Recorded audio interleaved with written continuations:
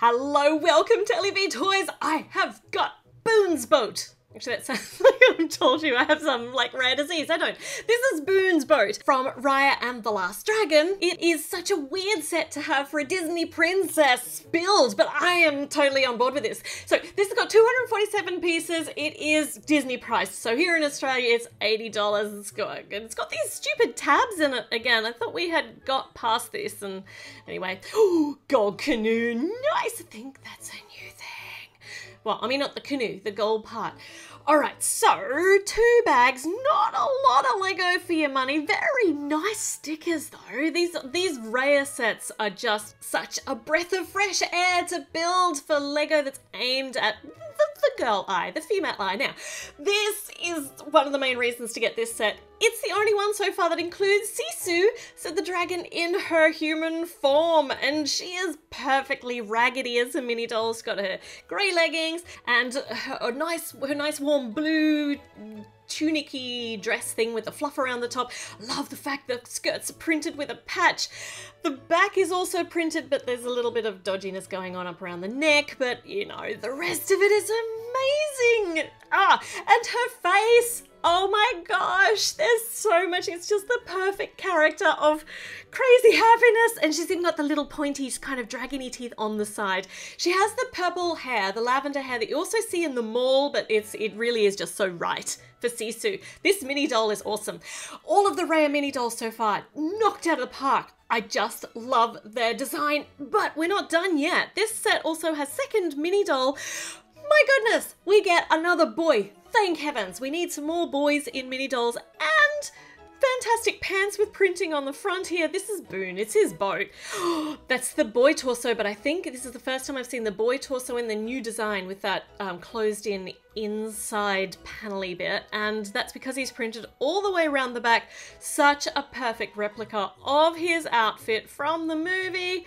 His head is also really, oh, it's so cute. It's just, it's it's good. I, I don't have enough describing words for this. I think he looks really, really good in mini doll form. I do have one issue though. He's a kid and like he's he's decidedly smaller than everybody else. He would be what like 12, 13, but he's small for his age. But as a mini doll, he's the same size as everybody else. It just doesn't work for me. This is why Lego, come on, we need we need the little, we need smaller articulated mini dolls do it. But there are also monkeys, the three monkeys in here. they look like they're the, the see no evil, speak no evil, hear no evil monkeys, though they're not really. they are awesome. These are so great. So this is the cranky. I've seen all the evil monkey, all the evil, and I'm not amused monkey. Got that new little piece, like that thing sticking out of his hat, which you can use for flowers. So we've got three individual molds for the monkeys, three different styles, and an infinite amount of awesomeness. Oh, this is such a great amount of characters to come in one single set. That might actually have something to do with the uh, with the price the price point. Maybe it's not just the fact that you know, it's got a Disney surcharge on it. We have got unique characters in this set. Anyway, onto the canoe, which is gold, which is a new color for the canoe. Stickers on it because this is one of those little, you know, the little boats that are selling goods straight off the river. There's a bucket, no, that's a barrel on the back, and we've got a seating inside, and this is, it's the banana boat. Yeah, I, I remember a song. I like that. I'm not going to sing it. Uh, and yeah, so this is uh, the flag, which has got the bananas on it. So you can see from a distance, that's where the bananas are being sold. So I have to row all the way over to the banana boat and get my bananas, my daily supply of bananas. Oh my goodness, this is obviously for the monkeys. It's a banana boat, right? For the monkeys, it's their boat.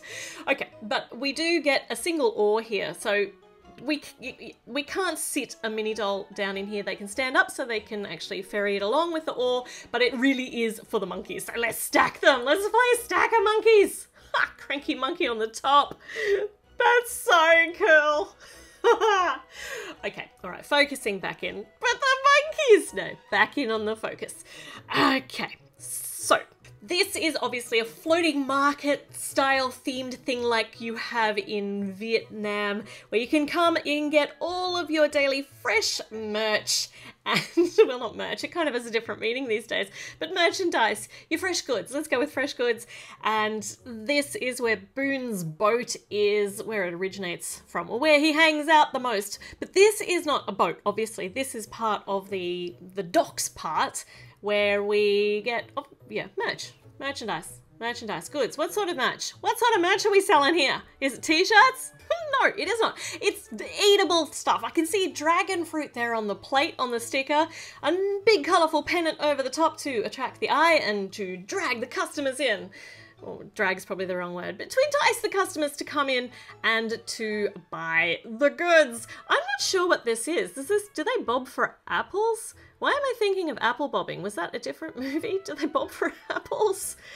Are these even apples? I don't even know that they're apples. Anyway, there is some foliage, some nice pink foliage uh, because of course it's pink foliage, but it actually works. It works very, very nicely for the color scheme of this whole build. So I'm totally happy to have pink foliage with coral flowers on it. This little thing that could have been a drum is actually a bowl of whatever those things are. I just don't know what they, are they shrimp? I don't know, floating in stew. Uh, and an orange fish, a blue fish, another blue fish in the barrel. And uh, yeah, this is your fishmonger. This is where you come to get your fish, though that looks kind of like, uh, is that like the fighting fish? it looks a bit like those fighting fish that can only live by themselves because they, they fight the other fish to death. it's probably some other breed of fish. I, I don't know enough about fish to really know. But it looks like the fighting fish. Oh, the Siamese fighting fish. That's what it looks like to me. All right, moving on from that now. So we have got the floating docks, which we've just knocked poor, uh, poor Boun over with. Now we get to build his boat, his prawn boat. It's got a massive prawn on the top, which I just love. Uh, but we've got to build the boat first before we can get to the prawn. Though prawns are kind of creepy when you look at them with their little like tentacly things out the front and the big beady black eyes, and I've peeled enough prawns to know that I really don't like peeling prawns. Right, we are at the end of that first bag while I got a bit bit scared about prawns. We're now on to bag number two, and we're gonna get this prawn boat happening. And this is actually quite uh, not complex, but it's definitely a build with a lot of interesting stuff going on and a lot of interesting building going on to make a very distinctly styled boat for Boun, Boun's boat. Boun's boat, which is not a disease.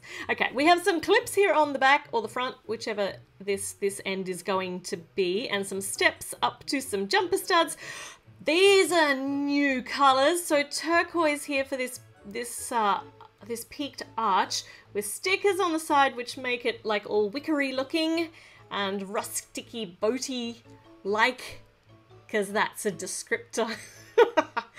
and these black bits going outside, I oh I know what they're for. We're gonna find out in a moment, but we need to strap them down with these slopey pieces.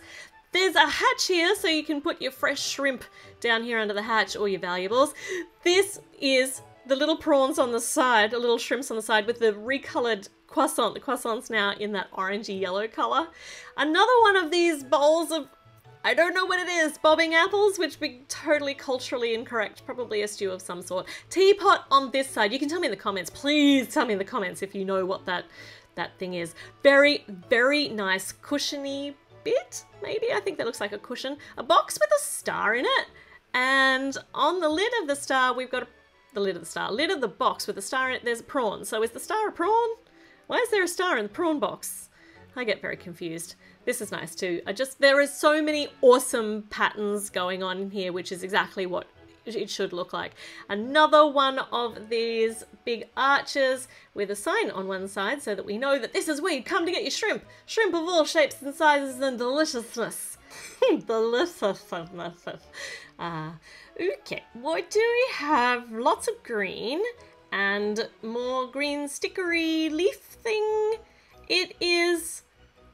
Oh, okay. It is a random crate of green and coral things, which is very probably something, but it looks fantastic and I don't know what it is, but it looks fantastic all in the crate and we get the hatch here. So these are all very, very nicely positioned on top of the hatch, but they don't obscure anything when you put it up, which is really cool. This and has got a bucket with another star in it. What? Oh no, there's the star! Is it star fruit? Why would he have star fruit? I don't know. Are they starfish? You don't fish for starfish in in rivers. I don't know what they are. It's breaking me. We got a prawn sign on the front, so this is where you come. Come and get your fresh prawn here. I've got the stick for making the boat go, or the boat stop, or just for steering the boat. And now we get to get to the shrimp. we get to get to the shrimp bit on the top. This looks fantastic. It's really such a great design. There is nothing else like this out there in the mini doll world. I think I mean, there was this kind of a shrimp boat in the hidden side theme. No, there was a shrimp shack, shrimp shack, a shrimp shack, so that's entirely different. Here is the top part of the shrimp and the shrimp boat with some patchy stickers on it for stickery patchiness and some clamshells. Also, I think they're a recolor, a new recolor for that. Clamshell for one, and that's the shrimp's tail. These are the shrimp's disgusting beady eyes. And I mean, it's a living thing, it's wonderful, but I their little beady eyes and their little tentacly antennae things out the front. I hate peeling prawns so much. I do like prawns though. So, you know, you have to you have to put up with the, the things to have the things. Okay, on the back we have these bits which just make the design right for what it's supposed to look like. I don't even know what you would call those parts, but they just make it look absolutely perfect for the ethnic style that the designers are going for. And right here at the end of the build, just randomly throw in the printed piece with the dragon map on it that we also had in the other Raya set, the uh, the Heart Palace. Uh, so maybe it's included in all the Raya sets, but I don't actually know. Don't quote me on that. And not sure why it's just thrown in at the end, but it's here. So there we go. We're at the end. We builded it. It's done. And builded it is not good English, but that's all right. I'm sticking with that. Okay, great set. Uh, don't really like the price, but I do understand why it is so expensive get it on get it on sale at some stage. I think you will really like this one. It's very different. Okay, I'll see you with another video very soon. Subscribe to all the things. Okay, bye.